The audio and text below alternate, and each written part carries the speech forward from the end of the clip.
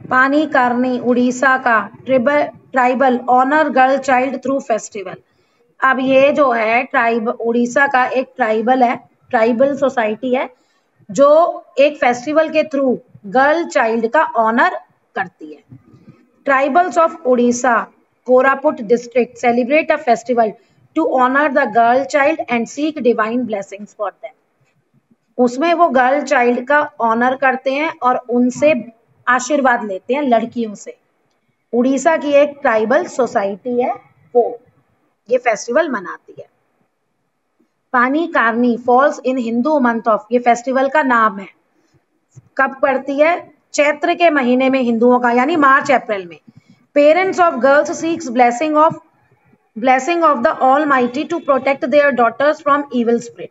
अब जो पेरेंट्स है ना, वो जिस भी भगवान की पूजा करते हैं उसकी ब्लेसिंग्स लेते हैं कि, हे भगवान, हमारी बेटी को बुरी इवल स्प्रिट से बचाकर रखना।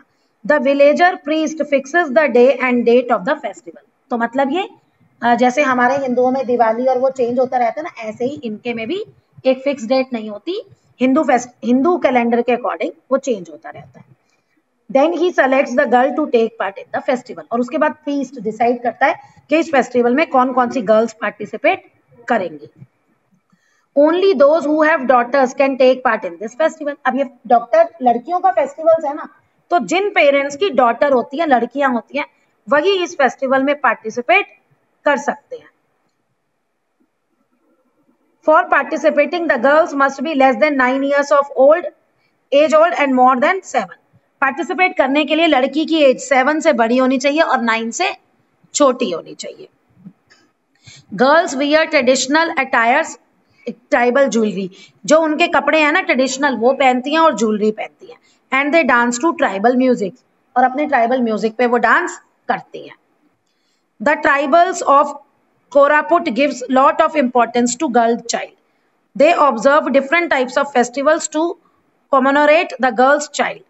Koraput is one really, is the one region where people celebrate the birth of the girl.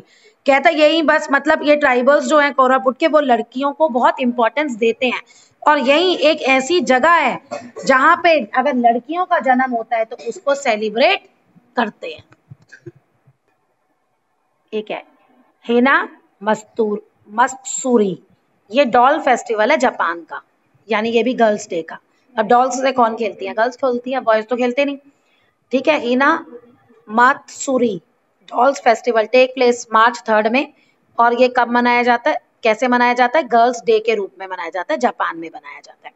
On this day families pray for the happiness and prosperity of their daughter इस दिन जो families हैं, वो pray करती हैं अपनी बेटियों की हैप्पीनेस के लिए और प्रॉस्पेरिटी के लिए। मतलब वो खुशहाल रहे, खुश रहे। उसके लिए